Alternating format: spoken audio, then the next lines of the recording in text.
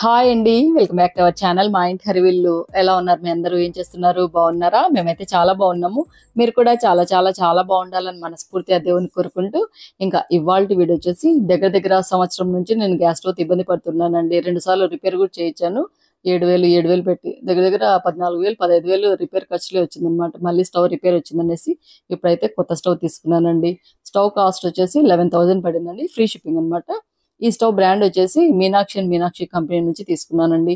మీ అందరికీ తెలిసే ఉంటుంది. మీనాక్షి అండ్ మీనాక్షి కంపెనీ నుంచి నేను మిక్సీ తీసుకున్నాను. అలాగనే చిన్నపాటి క్యూట్ గ్రైండర్ కూడా తీసుకున్నాను చూడండి. చాలా బాగా వర్క్ అవుతున్నాయి. చాలా బాగా పనిచేస్తున్నాయి అనమాట బ్రాండ్ చాలా మంచిది కనుక.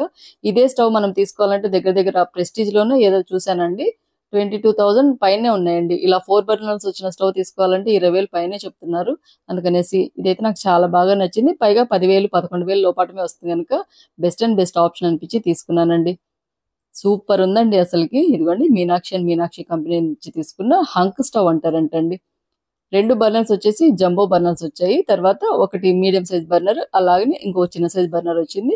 అలాగనే ఇక్కడ స్టాండ్ చూడండి. ఈ స్టాండ్ కూడా మనకు క్యాస్టర్ మీద వచ్చిందండి. ఫర్జ్డ్ స్టాండ్స్ అంటారంట. చాలా బాగుందండి అసలుకి. స్టవ్ అయితే మాత్రము ఎన్ని రోజుల నుంచో ఏ స్టవ్ తీసుకోవాలి ఏ స్టవ్ తీసుకోవాలని కొంచెం ఆలోచనగా ఉండేదన్నమాట. చాలా రకాల స్టవ్లు ఉన్నాయి కదండి. మేము యూజ్ చేసిన ఫస్ట్ స్టవ్ దగ్గర దగ్గర ఫైవ్ ఇయర్స్ బ్యాక్ తీసుకున్నదనమాట ఇంటి గృహప్రవేశం అప్పుడు చిమ్నీ అలాగే స్టవ్ రెండు కలిసేసి fifty three thousand fifty three thousand fifty four thousand పడిందండి. ట్వంటీ ఫైవ్ థౌసండ్ అబోవే పడింది స్టవ్ మాత్రము. కానీ ఈ స్టవ్ మాత్రం చాలా బాగుందండి. లెవెన్ థౌసండ్కు ఇంత మంచి స్టవ్ తీసుకున్నందుకు నేనైతే హ్యాపీగా ఫీల్ అయ్యాను. శుక్రవారం అంటే నిన్న వచ్చిందండి స్టవ్. ఇవాళ శనివారం కనుక ఇదిగోండి ఇలా నిన్న నైటే శుక్రవారం రోజు నైటే ఇలా సెట్ చేసి పెట్టి ఉదయాన్నే స్టవ్ అంతా నీట్గా ఇలా తుడిచి చూడండి స్టవ్ చాలా స్మార్ట్గా ఉందన్నమాట. ఎక్కువ హైట్లో కూడా లేదండి. నాకైతే బాగా సరిపోయింది. మొదటి పక్క కూడా కొంచెం ప్లేస్ వచ్చింది చూడండి. పాత స్టవ్ అయితే కొంచెం హైట్ ఎక్కువ కొంచెం గ్యాప్ లేకుండా అలా ఉండింది కానీ పెద్దగా ఇదైతే చాలా స్మార్ట్గా ఉంది. ఫస్ట్ అయితే స్టవ్ ఇదిగోండి ఇలా స్వస్తిక్ అలాగనే ఓం గుర్తు వేసి ఇలా పూజిస్తున్నాను. ఫస్ట్ మనం కొత్త ఇంట్లో గృహప్రవేశం చేసేటప్పుడు అలాగనే ఇలా కొత్త స్టవ్ యూజ్ చేసేటప్పుడు మనం పూజ చేస్తుంటాం కదా అలాగనే నేను కూడా పూజ చేస్తున్నానండి. చాలా రోజుల నుంచి స్టీల్ స్టవ్ తీసుకోవాలనుకుంటున్నాను కానీ వీడియోస్ అందరూ తీస్తుంటాను కదా స్టీల్ స్టవ్ అంతగా కనిపిదేమో అనేసి. పైగా నాలుగు బర్నర్లు అయితే కావాలి కదా ఎప్పుడైనా పండగలప్పుడు ఏదైనా అర్జెంట్గా మనం వంట చేసుకోవాలనుకున్నప్పుడు కూడా ఫోర్ బర్నర్స్ బెస్ట్ కదా. పైగా ఎక్కువ లెంత్ ఉండి ఎక్కువ హైట్ లేకుండా స్మార్ట్గా ఉండేటట్టుగా మనకి జొన్న రొట్టెలు అలాగనే చపాతీలు దోశలు బాగా కాలేటట్టుగా చూసుకుని తీసుకోవాలని చాలా రోజుల నుంచి అనుకుంటున్నాను. పాత స్టవ్లో అసలు జొన్న రొట్టెలు సరిగ్గా కాలనే కాలవండి. సెంటర్లో కాలితే సైడ్ వెంట పచ్చి పచ్చిగా ఉంటాయి అనమాట అందుకనేసి కొంచెం పెద్దగా మంట వచ్చేది తీసుకోవాలనుకుంటున్నాను. అయితే ఈ స్టవ్కి ఆటో ఇగ్నిటేషన్ లేదండి. లైటర్ తోనే వెలిగియాలి. ఇలా గంధం బొట్లు కుంకుమ బొట్లు ఏర్పాటు చేసిన తర్వాత ఫస్ట్ అయితే ఇదిగోండి లైటర్ ఆన్ చేస్తున్నాను.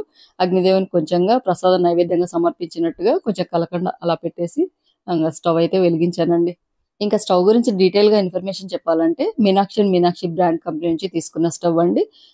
ఏటీఎంఎం టఫ్ అండ్ గ్లాస్తో వచ్చింది.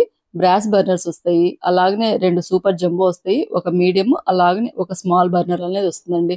Forged cast iron pan support వస్తుంది అనమాట స్టైలిష్ మెటాలిక్ నాబ్స్ వచ్చాయండి. చాలా బాగుందండి. అసలు నాకు చాలా బాగా నచ్చింది అనమాట ఇలా కొంచెం హైట్ తక్కువగా మరీ ఎక్కువ వెడల్పుగా లేకుండా స్మార్ట్గా గ్యాస్ స్టవ్ తీసుకోవాలి అనుకుంటున్నాను. నాకైతే నేను ఎక్కువగా పర్చేజ్ చేసే మీనాక్షి మీనాక్షి కంపెనీ నుంచి నాకు దొరికిందనేసి వెంటనే ఆర్డర్ పెట్టానండి. ఇంకా ఫస్ట్ అయితే పాలు పొంగిచ్చానండి. పాలు కూడా కొంచెం లో ఫ్లేమ్ అలా పెడుతూ ఆన్ చేస్తూ పొంగిచ్చాను. ఎందుకంటే స్టవ్ మీద బర్నర్స్ మీద పడతాయి కదా అనేసి. ఇంకా పాలు పొంగించిన తర్వాత ఒకసారి దండం పెట్టుకునేసి ఈ స్టవ్ మీద వంటలు బాగా రుచికరంగా కుదరాలి. ప్రతి ఒక్క వంట ఇంట్లో వాళ్ళందరూ కడుపు నిండా తినేంత రుచికరంగా కుదరాలి స్వామి అనేసి మనస్ఫూర్తిగా కోరుకునేసి దండం పెట్టుకున్న తర్వాత ఇంకా పాలు పొంగాయి కదండి. తర్వాత ఇక్కడ కొంచెం చక్కెరాన్ని కలిపేసి పాలు స్వామివారికి ఇంట్లో పూజ గదులు అమ్మవారికి నైవేద్యం సమర్పించాలనేసి ఇంకా పూజ చేయలేదండి. ఫస్ట్ పాలు పొంగించిన తర్వాతనే ఇంకా ప్రసాదంగా పాలు సమర్పించేసి పూజ చేద్దామనేసి అలాగనే ఉన్నాను. ఎంతైనా పాత స్టవ్ పాత స్టవే కదండి. చాలా ఇష్టం అనమాట ఆ స్టవ్ నాకు. ఇన్ని రోజులు అలాగనే అడ్జస్ట్ అయ్యాను కానీ ఇంకా వీలు అవ్వలేదండి. ఇంకా తప్పక మార్చాల్సి వచ్చింది. కానీ అది ఎలాంటి కొలాబరేషన్ వీడియో కాదండి. స్టవ్ ఏం నాకు ఫ్రీగా పంపించలేదండి సొంత డబ్బులు పెట్టేసి కొనుక్కున్న స్టవ్ అనమాట అది కొనుక్కోవడానికి కూడా మనసు ఒప్పలేదండి. కానీ ఇంకా ఇంకా మార్చాలి తప్పకుండా. ఇంకా స్టవ్ పనికి రావట్లేదు. మళ్ళీ మనము ఎక్కువగా రిపేర్లకే ఖర్చు అవుతుంది దాని బదులు కొత్త స్టవ్ వస్తుంది కదా అనేసి అనుకొని ఇంకా తప్పగా మార్చాల్సి వచ్చింది. కానీ ఇప్పుడు తీసుకున్న స్టవ్ అయితే నాకు చాలా బాగా నచ్చిందండి. ఇదిగోండి అమ్మవారిని దేవుళ్ళందరినీ ఇలా గులాబీ పువ్వులతో అలంకరించేసి పాలు నైవేద్యంగా సమర్పించేసి పూజ చేశానండి. అమ్మ అందరూ బాగుండేలా చూడు తల్లి అందరిలో మేము ఉండేలా చూడమ్మా అని మనస్ఫూర్తిగా కోరుకున్నాను. అంతేకాకుండా ఇవాళ పూజ చేస్తుంటే ఎందుకో మనసులోంచి అలాగనే ఆనందంగా ఆనంద బాష్పాలు అనేది వచ్చాయండి ఎందుకంటే అమ్ము ఇలా ఒక కొత్త బిజినెస్ క్లాతింగ్ బిజినెస్ స్టార్ట్ చేస్తుంది అని నేను మొన్న వీడియో షేర్ చేసినప్పుడు ఎంతమంది తన తన సొంత బిడ్డ లెక్క మీ అందరూ తనను అమ్ము అంటూ ఆదరాభిమానాలు చూపించారు. తనని ఎంతగా మీ కూతురు లెక్క స్వీకరించారో ఎంత బాగా అసలు మెసేజ్ చూస్తే కనుక నిజంగా ఇప్పుడు అనుకుంటున్నా ఇప్పుడు నేను వాయిస్ ఓవర్ ఇస్తున్నా కానీ నా కళ్ళ వెంట నీళ్ళు కారుతున్నాయి అనమాట అమ్ముకు నేను ఒక్కదాన్ని తల్లిని కాదు. నా లెక్క ఎంతో మంది తల్లులు అనేది అమ్మును సొంతం కూతురు లెక్క భావిస్తున్నారు. వాళ్ళందరి ఆశలు అమ్ముపై ఉన్నాయి అని నేను అనుకుంటున్నానే. నేను ఎంత అదృష్టవంతురాలనా అన్నంత ఫీలింగ్ వచ్చిందండి. నిజంగా మీ అందరికీ శతకోటి ధన్యవాదాలు. పేరు పేరున తెలుపుకుంటున్నాను. నా కూతురికి ఇంకా అంత అదృష్టవంతురాలు లేనది అనుకుంటున్నాను నేను కూడా అంత అదృష్టవంతురాలు లేదని అనుకుంటున్నానండి. చాలా హ్యాపీగా ఉంది. ఆ దేవుడు మాకు ఇంత మంచి మీ అందరిని ఇచ్చినందుకు దేవునికి శతకోటి ధన్యవాదాలు తెలుపుకుంటూ మీ అందరూ ఇలాగనే సపోర్ట్ చేస్తారని మనస్ఫూర్తిగా కోరుకుంటూ ఇవాళ ఏడుపు వచ్చేస్తుంది నాకు. ఇంకా బ్రేక్ఫాస్ట్ వచ్చేసి ఇదిగోండి కొత్త స్టవ్ మీద మా అందరికి ఇష్టమైన బ్రేక్ఫాస్ట్ దోశ పోసాను. అది పల్లెలతో మసాలా ఇదిగోండి ఏడుపు వస్తుంది అనమాట మాటలు కూడా రావట్లేదు. ఎర్రకారం దోశ పోసానండి. స్టవ్ అయితే చాలా బాగుందండి. తర్వాత అదే మీనాక్షి అండ్ మీనాక్షి కంపెనీ నుంచి గంజివాచే అన్నం గిన్నెలనే తీసుకున్నానండి.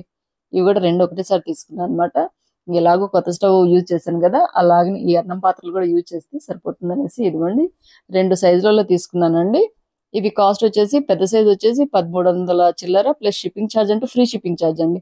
అలాగనే చిన్నది వచ్చేసి పదకొండు వందల చేంజ్ అండి ఫ్రీ షిప్పింగ్ అనమాట మనం ఏమంటే ఇప్పుడు ఎండకాలం కదండి. ఎండకాలంలో మనం రైస్ కుక్కర్లో అంత అన్నం వండితే ఏమవుతుందంటే ఊరికనే నీరు వడుస్తుంది అనమాట అన్నం అనేది నిల్వ అనేది ఉండట్లేదు అనమాట ఉక్కిపోతుంది. అలా కాకుండా ఇప్పుడు పైగా మనం యూజ్ చేసే రైస్ వచ్చేసి కూడా ఎక్కువగా కెమికల్స్ అనేది యూజ్ చేసి పండిస్తున్నారు కనుక మనం బియ్యాన్ని కడిగి గంజి వాచిన తర్వాతనే తింటే మంచిది అంటుంటారు కదండి. పైగా రైస్ కుక్కర్లో అన్నం మనం అన్నం తిన్నా కూడా కొంచెము ఒళ్ళు నొప్పులు అలాగనే ప్రాబ్లమ్స్ వస్తుంటాయి. గంజి వార్చిన అన్నం తింటేనే మంచిది అంటుంటారు కదా అనేసి గంజి వార్చాలంటే మనకు గంజి మీద పడుతుంది? కొంచెం భయంగా ఉంటుంది కదా. పైగా నాకు కొంచెం చేతుల మీద ఆయిల్ పడినప్పటి నుంచి నాకు కొంచెం భయం అవుతుంది. అందుకనేసి ఎలాగో ఈ ఎండాకాలం అంతా మనము ఇలాగ రైస్ కుక్కర్లో అన్నం ఉన్నా అన్నం చెడిపోతుంది. ఇలా గంజి వార్చే అన్నం పాత్రలు ఉన్నప్పుడు ఇంకేం బెస్ట్ అండ్ బెస్ట్ అనేసి మీనాక్షి కంపెనీ నుంచే తీసుకున్నానండి. అన్నం పాత్రలు అంటారనమాట ఇవి. ఒకటి చిన్న సైజులో అలాగనే ఒకటి కొంచెం పెద్ద సైజ్లో తీసుకున్నానండి. మూతకే వచ్చింటాయి అనమాట కొంచెం హోల్స్ వచ్చినట్టుగా అలాగనే మన పిల్లల లంచ్ బాక్స్లకు వస్తే చూడండి అలా క్లిప్స్ వచ్చింటాయి సైడ్ వెంట కొంచెం హోల్డింగ్ ఆప్షన్ అనేది కూడా వచ్చింటే కనుక మనకు చేతులు కాలకుండా కూడా ఉంటాయండి. గంజి వాచేటప్పుడు అందు క్లిప్స్ పెట్టేసి ఆ మూతకి హోల్ వచ్చింటుంది కనుక ఊరికి అలా వంచేస్తే సరిపోతుందండి. మనం ఎక్స్ట్రాగా ఏదైనా కాటన్ క్లాత్ కానీ లేకుంటే మసిబట్ట కానీ అవసరం ఉండదు. ఇదిగోండి ఇదైతే డైలీ యూస్ తీసుకున్నాను. అదైతే ఊరికి తీసుకెళ్దాము. అత్తకి యూజ్ అవుతుంది అనేసి పెద్ద సైజు కొంచెం అత్తగా కలిసి తీసుకున్నానండి. ఇంకా తర్వాత ఒక పది నిమిషాల పాటు బియ్యం నానబెట్టిన తర్వాతనే మనం అన్నం వండితే మేలండి. ఎందుకంటే పుల్లు పుల్లుగా వస్తుంది అనమాట అన్నం అనేది కొంచెం మెత్తబడకుండా కూడా ఉంటుందండి మిగిలిపోతే. ఇంకా అన్నం లేకి లంచ్ కోసం అనేసి ఇవాళ గోంగూర పప్పు ప్రిపేర్ చేస్తున్నానండి. మా రాయలసీమలో గోంగూర పప్పు అంటే చాలా ఇష్టం అండి ప్రతి ఒక్కరు గోంగూర పప్పు గోంగూర చట్నీ తర్వాత గోంగూర పుల్లకూర తర్వాత గోంగూర మనము చికెన్ బిర్యానీ అలాగనే చేస్తుంటారు కదండి. కానీ గోంగూర పప్పు బెస్ట్ అండ్ బెస్ట్ అన్నమాట. అందులో కాంబినేషన్గా ఏవి అవసరం లేదండి. అంత కమ్మగా ఉంటది ఈ గోంగూర పప్పు కోసం కొంచెం కందిపప్పు అలాగే కొంచెం శనగపప్పు కలిపేసి ప్రిపేర్ చేస్తే చాలా టేస్టీగా ఉంటుంది. తగిన కందిపప్పు అలాగే కొంచెం పచ్చిమిర్చి ఎక్కువగానే పడతాయండి. ఎందుకంటే గోంగూర పుల్లగా ఉంటుంది కదా అందుకని కొంచెం పచ్చిమిర్చి ఎక్కువనే యాడ్ చేసి తర్వాత పసుపు అలాగనే కొంచెం జీలకర్ర వేసాను. తర్వాత ఒక ఆనియన్ కట్ చేసి వేసి కొంచెం ఆయిల్ అనేది యాడ్ చేశాను. ఇప్పుడే గోంగూర అనేది యాడ్ చేయకుండా ఫస్ట్ కొంచెం వేడైన తర్వాతనే మనం గోంగూరని యాడ్ చేయొచ్చు. ఇంకా స్టవ్ ఆన్ చేస్తున్నానండి. ఈ రెండు బర్నర్స్ సేమ్ అండి. సేమ్ సైజ్లో వచ్చాయి అనమాట జంబో బర్నర్స్. ఇంకా బ్యాక్ సైడ్ ఏమో ఒకటి మీడియం బర్నర్ అలాగే ఒకటి స్మాల్ బర్నర్ వచ్చిందండి. మంట అయితే బాగా వస్తుందండి. చాలా బాగున్నాయి. నాబ్స్ కూడా చాలా స్టైలిష్గా వచ్చాయండి. లైటర్తో కొంచెం అలవాటు కావాలండి. అసలుకి దగ్గర దగ్గర ఐదేళ్ళు పైన అయిందనమాట లైటర్ అంటూ అస్సలు యూజ్ చేయలేదు. ఇది ఎప్పుడో పాత లైటర్ అండి. సరిగా పని కూడా చేయట్లేదు అనమాట కొత్త లైటర్ తీసుకుని రావాలి. ఇంగిటి వైపేమో అన్నం పెట్టేశానండి స్టవ్ మీద.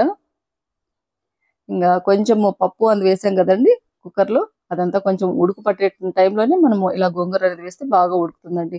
గోంగూర వెంటనే మనం పప్పు ప్రిపేర్ చేసేటప్పుడు కానీ వాష్ చేసామనుకోండి సరిగా ఉడకదు అనమాట ముందుగానే గోంగూర ఒకటికి రెండు సార్లు నీట్గా వాష్ చేసి కొంచెం ఆరిన తర్వాత మనం పప్పు అనేది ప్రిపేర్ చేసామనుకోండి పప్పు బాగా ఉడుకుతుంది అనమాట గోంగూర లేకుంటే కనుక అలాగే ఆకులు ఆకులు ఉంటుంది. అందుకనేసి ముందుగానే ఒక పది నిమిషాలు ఒక అరగంట ముందుగానే గోంగూర నీట్గా తీసుకున్న పాటిని మనం ఆకులన్నీ ఒలిచిన తర్వాత వాష్ చేసేసి కాసేపు ఆరబెట్టిన తర్వాత ఇలా పప్పు అనేది ప్రిపేర్ చేయాలండి.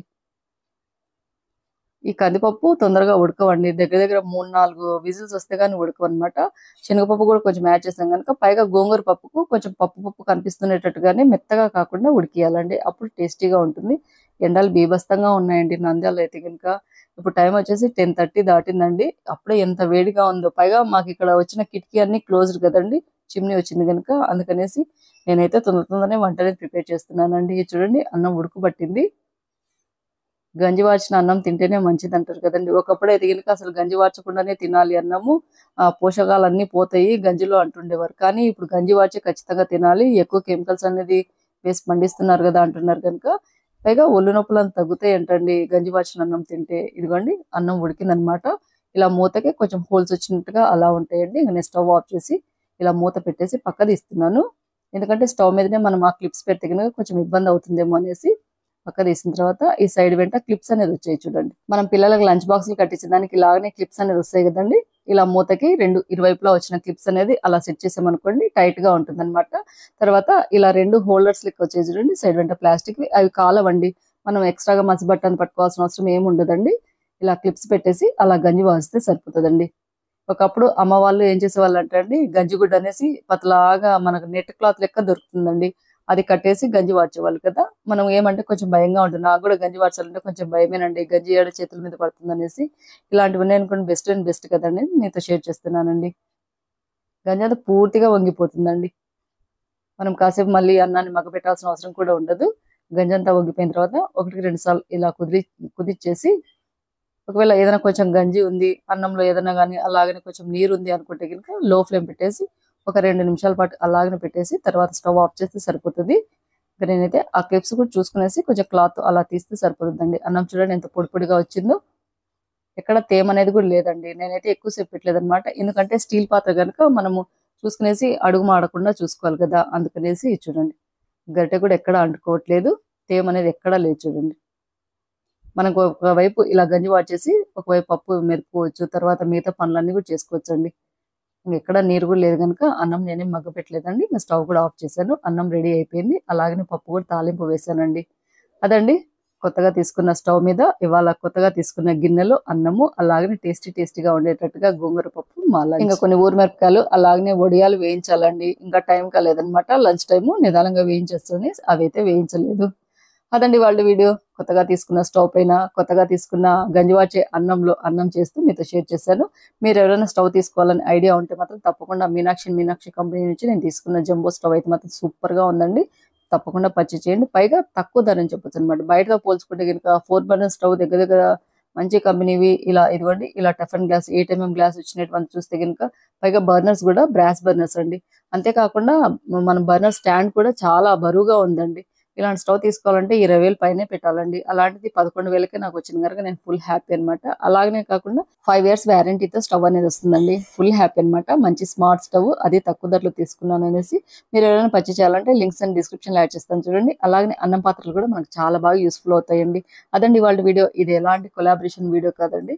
నా సొంత డబ్బులు పెట్టేసి తీసుకునేది అనమాట ఏమంటే నేను డైలీ యూజ్ చేస్తే మీరు అందరూ అడుగుతుంటారు కనుక ఇవాళ ఎలాగో కొత్త స్టవ్ వాడాను కనుక మీరు షేర్ చేశాను. వీడియో అయితే మీ అందరికి యూస్ఫుల్ అవుతుంది. అలాగే నచ్చుతుంది అనుకుంటున్నాను నచ్చితే కనుక లైక్ చేయండి షేర్ చేయండి సబ్స్క్రైబ్ చేయండి మా ఛానల్లో బెల్ ఐకాన్ మాత్రం మర్చిపోద్దండి. ఇలాగే మంచి మంచి మీకు యూస్ఫుల్ అయ్యే వీడియోస్తో మీకు యూస్ఫుల్ అయ్యే రెసిపీస్తో మీకు యూస్ఫుల్ అయ్యే టిప్స్తో మళ్ళీ మీ ముందుకు వస్తూ ఉంటాను. అంతవరకు సెలవు. థ్యాంక్ ఫర్ వాచింగ్ స్టవ్ ఎలా ఉందని తప్పకుండా కామెంట్ చేయండి. థ్యాంక్ ఫర్ వాచింగ్ బాయ్ అండి.